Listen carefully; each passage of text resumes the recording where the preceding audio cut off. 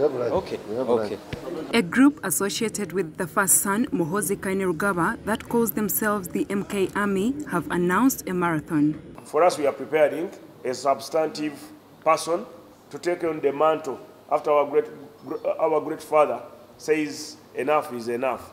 The marathon, which they say is in honor of President Museveni, will take place in Sebei sub-region on the 21st of this month. The uh, leaders of Uganda, this is my humble appeal as one of your subjects. For us, we are followers. We don't work in government. We are just followers. We follow you.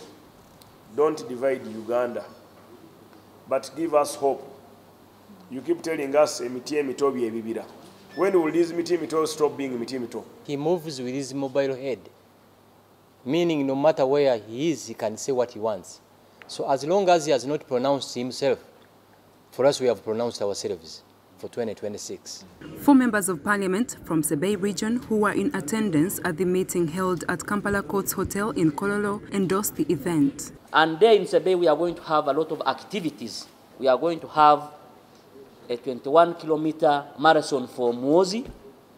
And then we are also going to have a seven kilometer walk for President Museveni.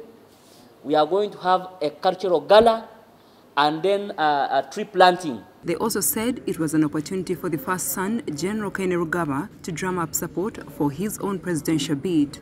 And Muhoozi will be the president of Uganda in 2026. And by the way, let me tell you one thing. We are not begging that let Muhoozi be the president of Uganda in 2026. It is a must that he has to be the president in 2026. For those who are still lying to themselves that he will not be, look at me. He is going to be. People of Sebei are good, loving people. They love Mo- uh, General MK and the party and National Resistance Movement. we are blessed. And I want to remind you that the people of Sebei are yearning for the first son.